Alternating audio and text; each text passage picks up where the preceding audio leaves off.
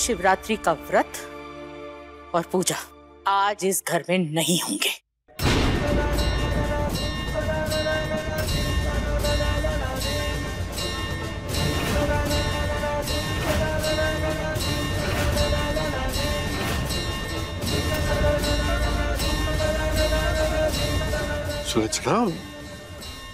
आप ही बताइए। जब सारे मेहमान और रिश्तेदार आएँगे तो क्या बोलेंगे? कि इस घर की बीननी पूजा में इसलिए नहीं बैठ सकती क्योंकि उसे निर्जला व्रत नहीं रखा गया। इसीलिए आज पूजा होगी ही नहीं। लेकिन मासा मैंने सुबह से अंडे का एक दाना तक नहीं खाया और ना पानी पिया। मारे को तो तीखी चीज़ें पसंद है चटर पटर मटरी कचौरी ये सब। ना कि ये मीठे फीके बिस्किट। मैंने तुमसे कहा ना बुलबुल कि पूजा नहीं होगी तो पूजा नहीं होगी। पूजा होगी नानी।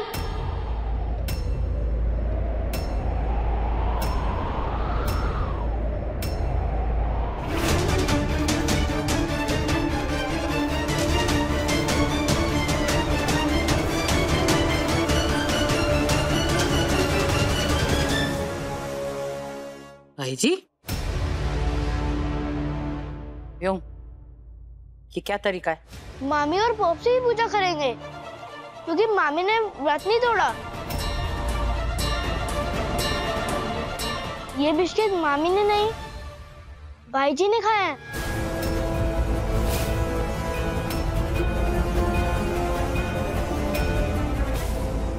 भाई जी व्योम सही बोल रहा है? ये बिस्किट्स आपने खाए मैं, मैं, मैं वो बड़े होने में और खाने में फ़र्क है। सच बता बिस्कुट किसने खाए? सच बता तूने बिस्कुट खाए वो प्रॉब्लम ना आए। प्रॉब्लम यह है कि बुलबुल पे इल्ज़ाम लग रहा है कि बिस्कुट उसने खाए। मैंने कहा मैंने कहा मैंने मैंने माफ़ कर दो हमारे से गलती हो गई। मैंने आज तक इस घर में किसी चीज़ को हाथ नहीं लगाया सच लेकिन वो बिस्किट मन मुझे बहुत पसंद था तो मैंने ना खा लिया। मैं, मैं वीर सा के कमरे में गई और और वहाँ में मैंने बिस्कुट देखा और मारे मारे मन में लालच आ गया। भाई जी। हम्म? मेरी आर्टबुक का है। वो आपके कमरे में है मैं आके देती हूँ ना? हाँ। मैं मैं मैं कालिया मुझे मुझे माफ़ कर दो आशा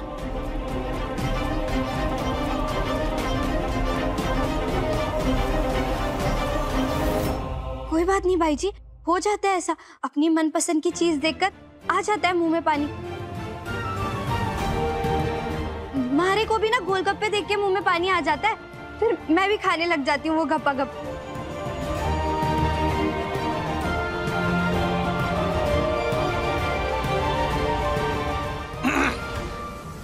भाई जी, इस बारी गलती हो गई, सो हो गई। आगे से नहीं होनी चाहिए। उठ जा।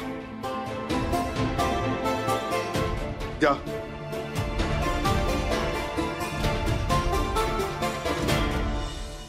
मासा, ये जो भोलेनाथ जी का व्रत है ना, ये जितना आपके लिए मायने रखता है, हमारे लिए भी उतना ही मायने रखता है। और इसमें मैं कोई गड़बड़ नहीं करूँगी, इसे पूरे मन से, पूरी श्रद्धा से करूँगी। भगवान जी तो हमारे लिए इतना कुछ करते हैं। तो मैं उनके लिए निर्जला व्रत नहीं रख सकती। मैं पूरी श्रद्धा से ही पूजा करूँगी और ये पूजा तो हमारी और थानेदार संघ की पहली पूजा है पति पत्नी की तरह। तो इसमें तो मैं कोई गड़बड़ नहीं होने दूँगी। मैं इस पूजा को पूरे मन से करूँगी। देखा सुलक्षणा? सारी बात साफ़ हो गई? संति हो गई अब? बनिका बुलबुल से माफ़ी मांग। गलती करिए तो माफ़ी तो मांगनी पड़ेगी ना? बैठे क्या खड़ी है? जाओ। जा माफ़ी मांग। नहीं, पापा साहब।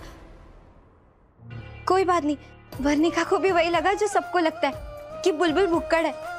पर मैं हूँ नहीं। और पता है, सब यही कहते हैं कि घर में कोई भी चीज़ गायब हुई है तो बुलबुल नहीं खाई होगी। हमारे पापा साहब तो कहते थे कि तारा पेट है कि कुआँ? तो हमारे को वर्णिका की बात का कोई बुरा नहीं लगा।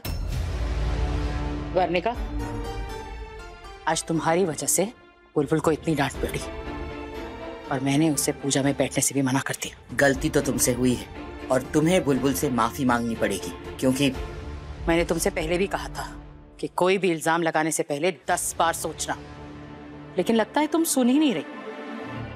हुआ क्या है तुम्हें? हम्म सॉरी चाची। कोई बात नहीं बनने का। तुमसे गलती नहीं गलत फहमी हो गई थी।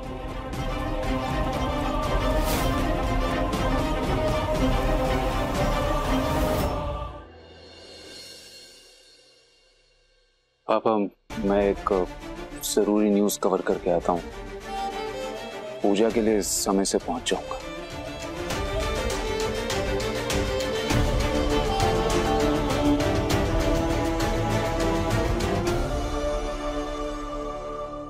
वीर बेटा, जो दिल के अच्छे हो है ना, वो कभी किसी का दिल ना दुखाते। कभी किसी की बातों को दिल से ना लगा लेते। तो दिक्कत वाली बात भी यही है कि जो सब में अच्छा ही ढूंढे, उन्हीं के साथ ऐसा हुआ है, जैसे बुलबुल बींदनी। कि पर वो भी अलग ही मिट्टी की बनी हुई है। चाहे कितनी बड़ी से बड़ी बात हो जाए, कोई उंगली उठाए, गुस्सा करे, इल्ज़ाम लगाए, वो अपनी मस्तराम आज कहीं निकले। आज अगर वो चाहती तो वर्णिका से खुद माफ़ी मंगवा सकती थी, या सच्चाई बाहर आने के बाद मुँह खुला सकती थी, नाराज़ होकर बैठ सकती थी, पर उसने सब हंस के टाल दिया। हमेशा दूसरों का इल्ज़ाम अपने सर पे ले ले हुए पास हो या फेल, कोशिश पूरी करे बींदड़ी ये बात तो माननी पड़ेगी। सच में हम खुश नसीब है कि बुलबुल हमारे घर की बींदड़ी है। और तू देखना, वही संभालेगी इस घर ने? इस परिवार पर कोई मुसीबत आने से पहले अपने सर पर ले लेगी बींदनी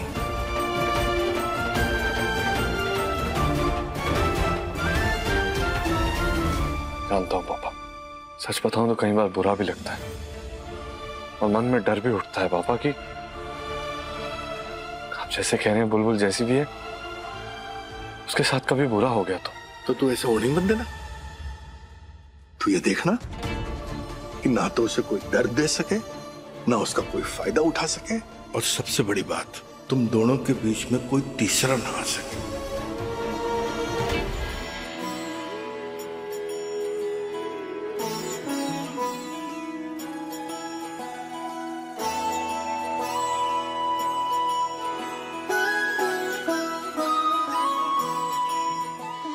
घनी खंबा घनी खम्मा भाई साहब। सुलक्षणा भाभी साहब कहाँ है वीर और आपकी नई बिंदनी? अब वीर और बुलबुल आते ही होंगे।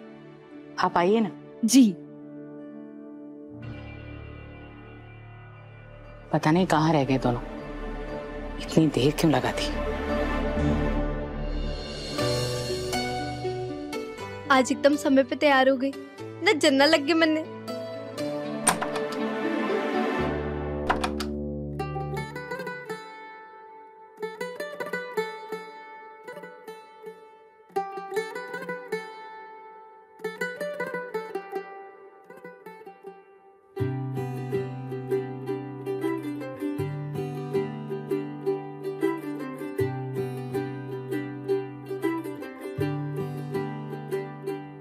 आज सज आए वे सारा शहर। आज हो गई आवे रब दी मह हाय, सज आए वे सारा शहर। आज हो गई आवे रब दी मह बहुत खूबसूरत लग रही हो। थैंक यू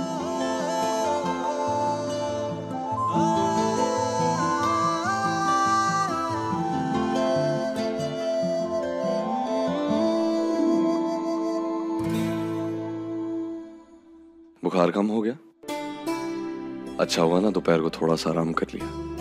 अब बेहतर है ना तबीयत? हाँ। शायद आराम नहीं मिला था इसीलिए बुखार आ गया था। अब मैं बिल्कुल ठीक हूँ। हम्म। मैं जाती हूँ। बुलबुल।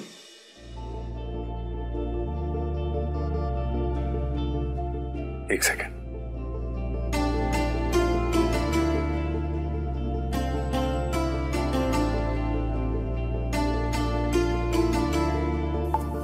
ये तुम्हारे लिए। ये क्या है?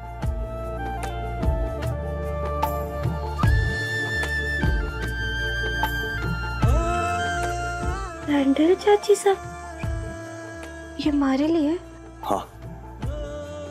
मैं जानता हूँ बुलबुल वो जूते, चप्पल फुटवेयर ये सब गिफ्ट नहीं किया जाता, लेकिन ये गिफ्ट नहीं है। ये मैंने मार्केट में देखा। और देखते मुझे बहुत सुंदर लगा। फिर मुझे एहसास हुआ कि अगर इसे तुम पहनोगी तो फिर ये और सुंदर हो जाएगा।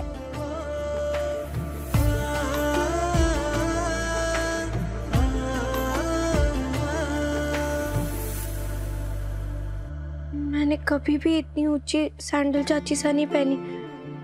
बहुत ऊँचे हैं ये मैं गिर जाऊँगी नहीं गिरोगी बुलबुल मैं जानता हूँ तुमने शायद ये पहले कभी नहीं पहना होगा लेकिन ज़िंदगी में नई चीज़ें ट्राई करनी चाहिए। एक बार पहन के देखो अच्छा लगे ठीक है।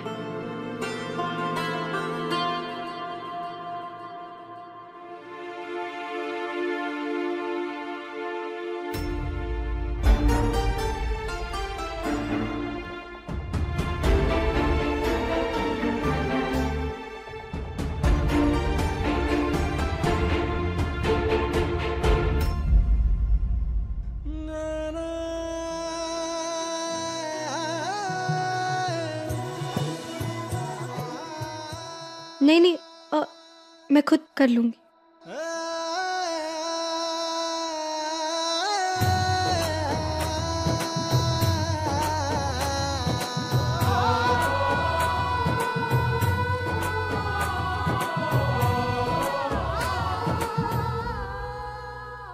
बुलबुल थानेदार सा तो बिल्कुल वैसे ही है जैसे बचपन में सुनी परियों की कहानी के राजकुमार होते थे। नसीब वाले को ही मिलते।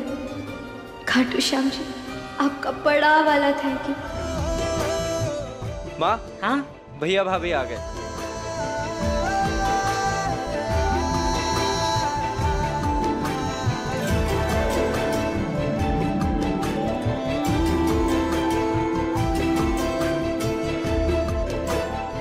अरे सुलक्षणा भाभी सा। बेटे और बिंदनी की जोड़ी तो बहुत जच रही है। बिल्कुल शिव जी और पार्वती मैया जैसी।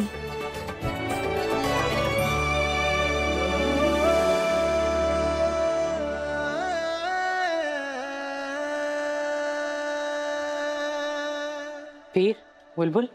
पंडित जी पूजा शुरू करने ही वाले हैं। जाओ देखो वो क्या कहते हैं। हाँ।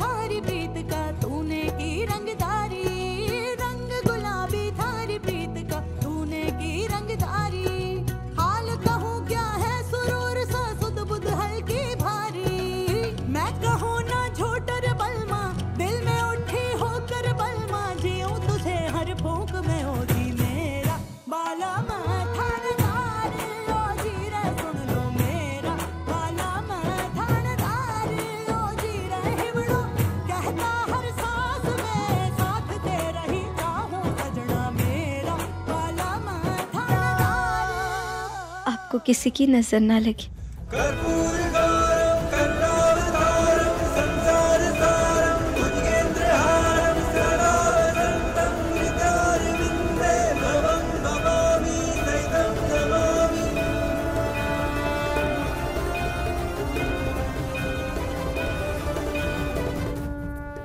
हमें किसी की नज़र ना लगे।